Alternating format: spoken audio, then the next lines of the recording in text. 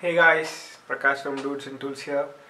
I've got another video for you. This video is nothing special. I just bought some special stuff from the internet, AliExpress to be precise, and I'm gonna tell you what it is and what I'm gonna do with it. So let's get to it, shall we?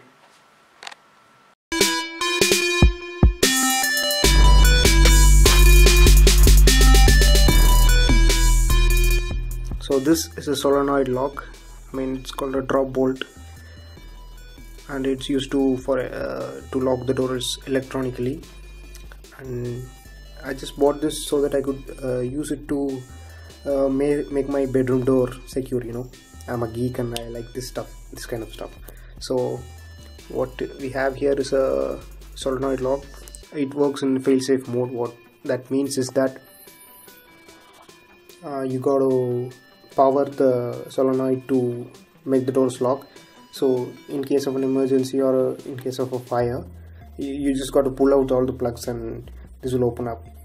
You can also uh, buy stuff that works in um, you know fail secure mode. It's the other way around.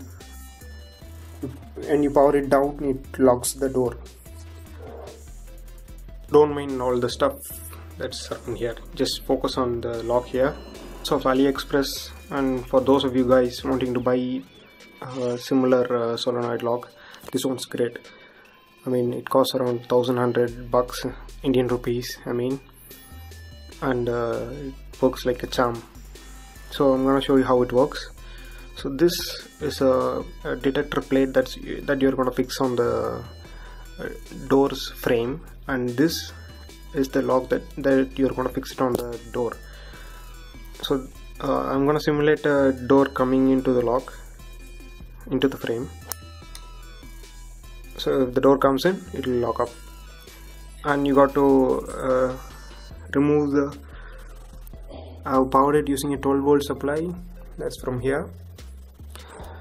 To to release the lock what you're gonna do is cut the supply. That is gonna be taken care of a micro taken care of by a microcontroller. I'm yet uh, that's what all these cups into. I'm yet to finalize the project. I'm yet to fix it on my door.